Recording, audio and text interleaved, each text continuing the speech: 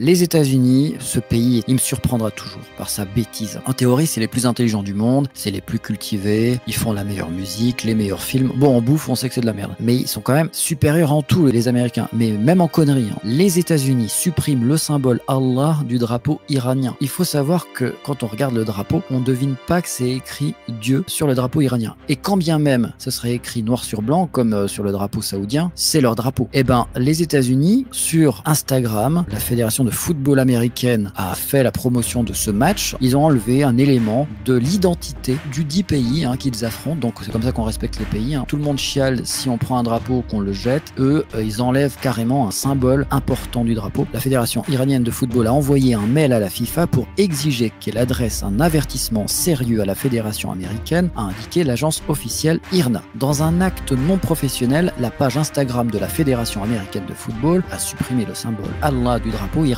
La fédération des États-Unis a justifié ce choix en expliquant vouloir montrer sa solidarité avec les femmes en Iran. Tu enlèves un symbole d'un drapeau et donc par ce geste, eh bien les Iraniennes, elles te sont euh, redevables. Merci, grâce à toi en fait, je ne serai plus opprimé. La justice est de retour. Ce qu'ils auraient dû faire les États-Unis, si vraiment ils voulaient aider les Iraniennes, il y avait des solutions qui étaient plutôt pertinentes. Ils auraient pu faire ça par exemple. Tu faisais comme les actrices françaises, là, tu prenais une petite mèche, tu la découpais, tu te prenais en photo sur Instagram, tu mettais USA for Iranian Girls, et là t'étais bon. Selon l'histoire de l'Amérique, une étude surprenante a permis de constater que les États-Unis ont été en guerre 91% du temps de leur existence. Donc ces gens-là, si on devait appliquer ce qu'ils viennent de faire au drapeau iranien, bah vous voyez là le drapeau des États-Unis, t'enlèves les étoiles, t'enlèves euh, les bandes rouges, t'enlèves les bandes blanches, t'enlèves le tissu, t'enlèves même euh, le support. En fait, il n'y a plus rien. Si tu dois enlever en soutien aux personnes qui ont été euh, opprimées par les États-Unis, franchement, et tu enlèves le drapeau, tu enlèves même le pays, hein, tu le fais exploser avec une bombe nucléaire, plusieurs bombes nucléaires, comme ils ont fait à Hiroshima et à Nagasaki par exemple. Il faut pas s'étonner ensuite que les États-Unis soient détestés par plein de pays. Je suis pas en train de, légitimer le fait de perpétrer des actes terroristes. Hein. Attention, loin de moi cette idée-là. Euh, j'ai arrêté le terrorisme hier à 14h44. Ça m'intéresse plus. Je suis passé euh, sur une autre passion. Maintenant, je collectionne des dominos. Mais en réalité, en fait,